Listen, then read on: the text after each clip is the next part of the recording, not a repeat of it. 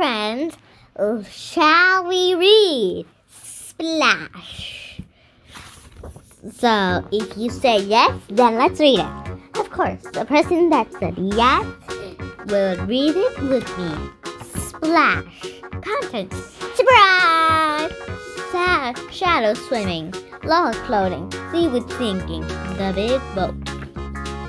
Surprise! One day, a tiny sea serpent was born. She swam to the surface. Splash, went her tail. Shush, said Mama. Hush, said Papa. But her tail swished and splished and splashed. Splash! cried the little sea serpent, and that became her name. Splash grew bigger, her tail did too, and it made bigger and bigger splashes. Shush! Hush! said Mama. Sea serpents are silent. Hush! said Papa. Sea serpents are sneaky. The splashing is fun, said Splash. Not if people hear and see you, said Papa. You might get caught. Splash tries to be quiet, but every time her tail twists and splash and splash.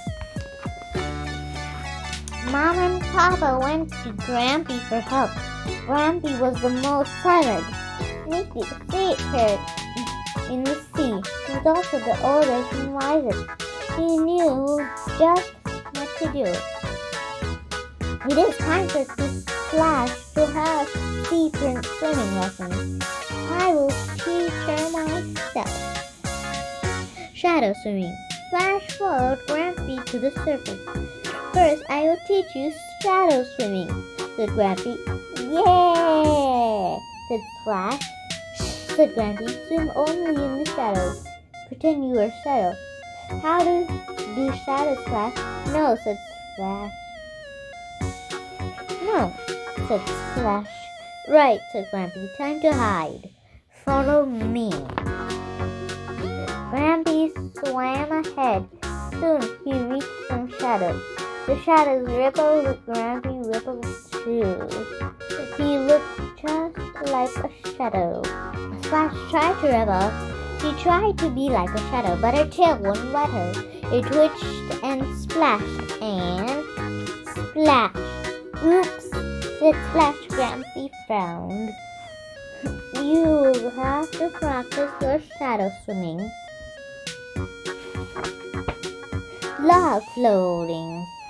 Next, I will teach you log floating, said Grampy. Swim next to the log. Pretend you are log. Do log splash? No, said Splash. right, said Grampy. Time to hide. Follow me. Grampy swam over to some logs. He lay on his back. He lay very straight and still. He looked just like a log. But Splash lay on his back. She stretched out straight. She tried to be still. She tried to be a log. But her tail wouldn't let her. It twitched and splished and splashed. Oops, said Grampy ground, you'll have to practice your log floating. Seaweed sneaking. This is the last lesson.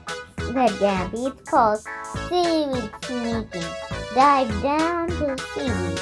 Pretend you are a piece of seaweed. Does seaweed splash? No. Right, said Grampy. Time to hide. Follow me. He swam over to some seaweed. He dove deep. Only his tail stuck up, up out of the water. The seaweed swayed. Grampy's tail swayed too. It looked just like a piece of seaweed. Splash dug deep. She stuck her tail out of the water. She tried to be like a piece of seaweed. she tried extra hard but her tail wouldn't let her. It twitched and swished and splashed. Splash! Oops, said Splash. Grampy sighed. Let's try again tomorrow. It's time for supper. Okay, whispered Splash. Big bout. Splash screamed and Grampy started swimming home. They heard a noise. Chug, chug, chug. The noise grew louder and louder. It's a boat, Grampy. Quick, time to hide. There were no shadows or, or logs or seaweed in sight. Splash didn't know what to do. Grampy went still. Splash went still too. She didn't try to be a shadow, log, or piece of seaweed. She was trying. She was just herself, but silent and sneaky. Her tail let her. She didn't switch a splash or splash, not even a little. Chug, chug, chug. Alas, the boat left. Well done, said Grampy. He was proud. Splash was flower. I didn't need to be a shadow log or seaweed to be still extreme flash. I can be splash without any flashes. Yes, you can, said Grampy. To celebrate, Grampy took Splash to a secret cave. There she, there she could be as loud and lively as she wanted. But guess who made the loudest splashes of all?